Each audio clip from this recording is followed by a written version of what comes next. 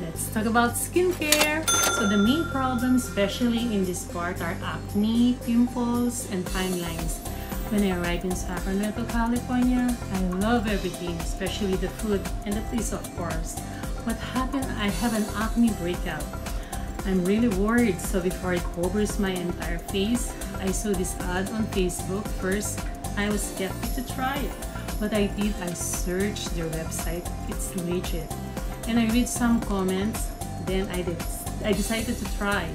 So upon signing up, you have to be honest and tell everything about your concern because they will decide what was the best formula for your skin problem. And guess what? They offer a free trial that you need to pay $4.95 for the shipping fee. Yahoo! Alright, so ladies and gentlemen, this is not sponsored.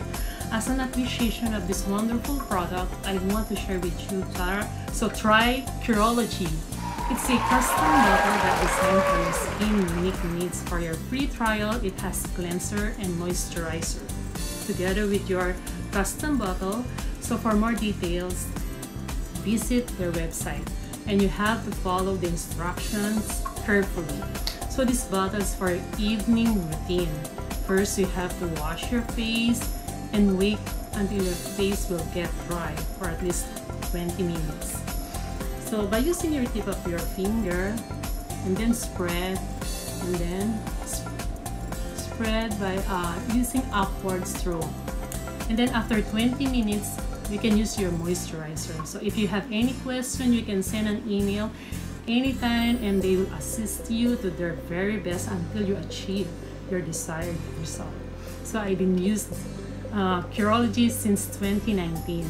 So after you get rid of your acne or pimples, your dermatologist will tell you to reintroduce your skin whatever product as long it's non-comedogenic means denoting a skincare product or cosmetic that is specially formulated so as not to cause black pores. Wow, that's great. Always check the label okay? So that's all for now. In my next video i will share one of the best skin product that is non-comedogenic so it's a wonderful product. So watch out for that. Thank you